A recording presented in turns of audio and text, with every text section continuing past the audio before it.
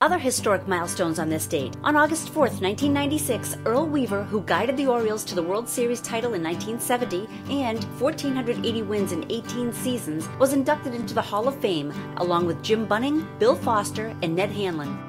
August 4th, 1985, Tom Seaver of the Chicago White Sox wins his 300th game. Seaver defeats New York 4 1 on Phil Rizzuto Day at Yankee Stadium. On the same day, Rod Carew of the California Angels enters the 3,000th hit club when he singles against his former team, the Minnesota Twins. A baseball oddity occurs on August 4th, 1982, when Joel Youngblood becomes the first player to collect hits for two different teams in two cities on the same day. After driving in the winning run for the Mets in Chicago, Youngblood is traded to the Expos. He flies to Philadelphia, enters the game in the fifth, and later singles against Steve Carlton.